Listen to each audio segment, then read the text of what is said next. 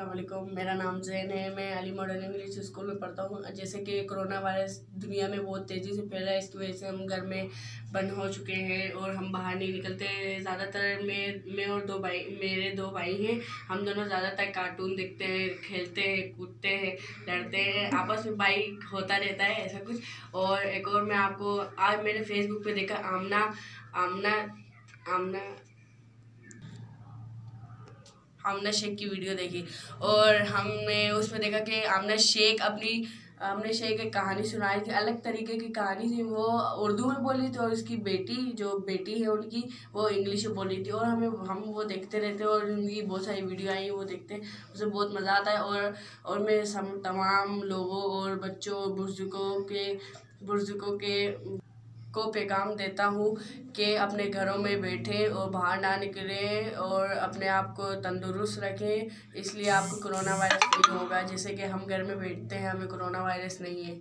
और मैं आपको आखिर में दिखाता हूँ हाथ धोने का तरीका। सबसे पहले हम थोड़ा हाथ गीला करेंगे। हाथ गीला करने के बाद हमने हाथ साबुन ले लिया और ये हमने ऊपर रख दिया और हम सबसे पहले यूँ लगाएँगे। यूँ करके यूँ यूँ अपने हाथ यूँ यूँ दस सेकंड तक धोना है। बीस सेकंड तक धोना है सॉरी बीस सेकंड तक धोना है। ये देखें, यूँ नाखून ये है ना, यूँ, ये यूँ ये यूँ।